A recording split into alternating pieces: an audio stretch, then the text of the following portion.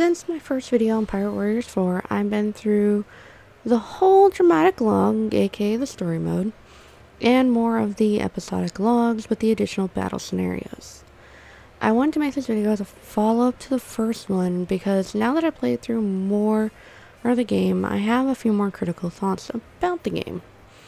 I don't consider this to be a review so much as my opinions on how the overall game turned out. In terms of the game aspects, it is fun. The Musou Warrior style games are one of my favorites to play and can be a stress relieving and relaxing game.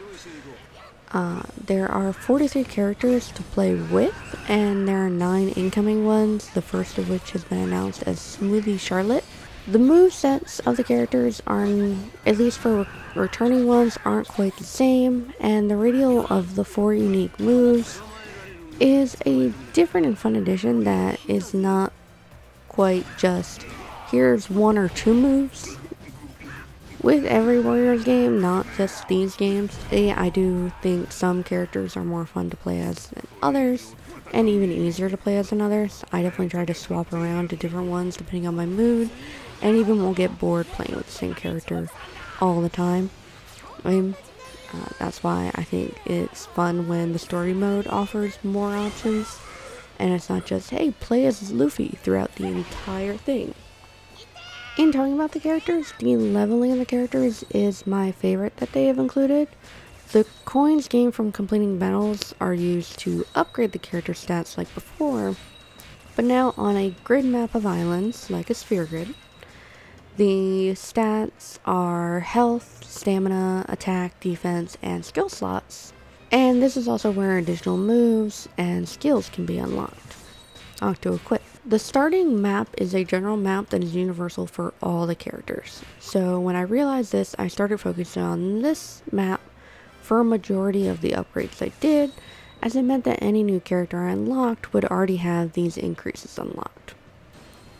From there, each character has two specific maps. The first contains their additional moves and additional skills, the second I found for every character I've unlocked it with so far, it's just stat increases that are higher cost and both of coins and money which is another factor to unlocking them of. It's not just having enough coins but also having the money to go with it the reason I consider this to be my favorite is because there isn't an additional experience level system attached to it it is harder, I think, to fully upgrade the characters, and I also think it makes some levels harder as a result. It isn't anything I can push through with a low level character just because they'll level up and heal as I go through the level.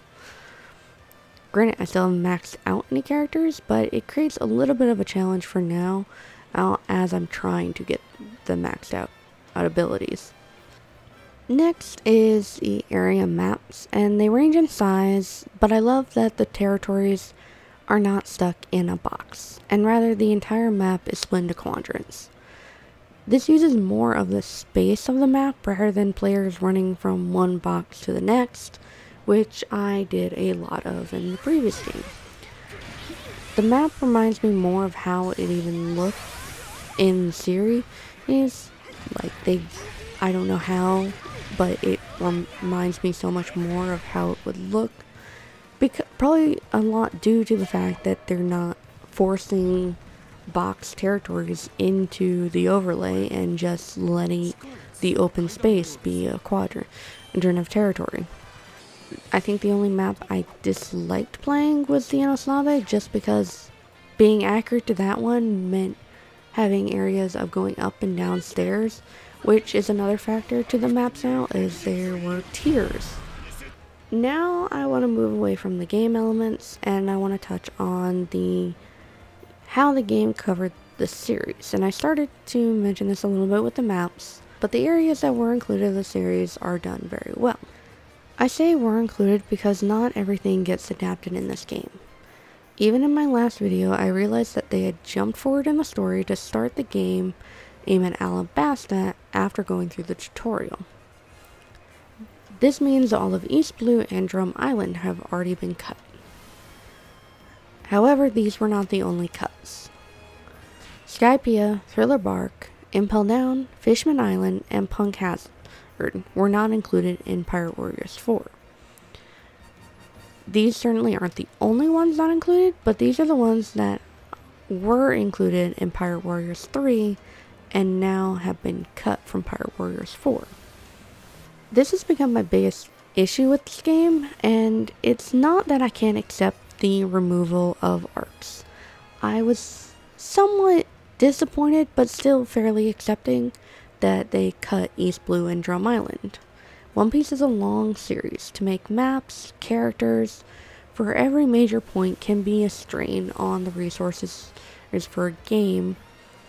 And considering they didn't lump each arc into just one fight like previous games did, and, and split them up into multiple, probably also oh, put a strain on resources, but allowed them to be more accurate to the narrative.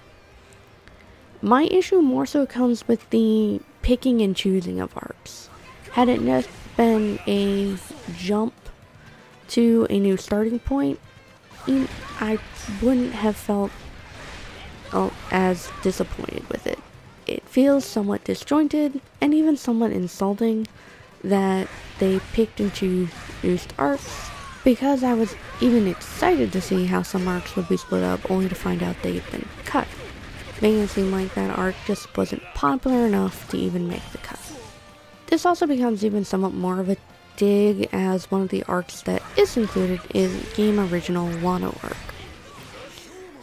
The arc starts off somewhat similar to the series and then goes off in a direction that I compare to the Stampede movie, where it's trying to cram a bunch of different characters in and basically make it a showcase of a bunch of different characters characters rather than being anything close to what the actual arc will end with. And while, while it, it is probably one of my favorite battles to play through that I did in the game, it doesn't lessen the blow that their made up version of an unfinished arc got priority over other arcs. And yes, I know why it was included. Wano is the current arc running in both the manga and anime series, and they wanted to put Kaido on the cover. This isn't the first time this has happened. Pirate Warriors 3 had an awful and annoying final battle with their original game version of the Dress Dressrosa arc. Really, I already sort of mentioned how I would prefer them to do this, this if they are going to just cut arcs out of the story and if they are going to follow the story is pick a new starting point and cover all the arcs after that point really, I think the first Shabondy point would have been in the best intro to go to, as one of the other big selling points Inks marketed for this game was the inclusion of more of the worst generation characters.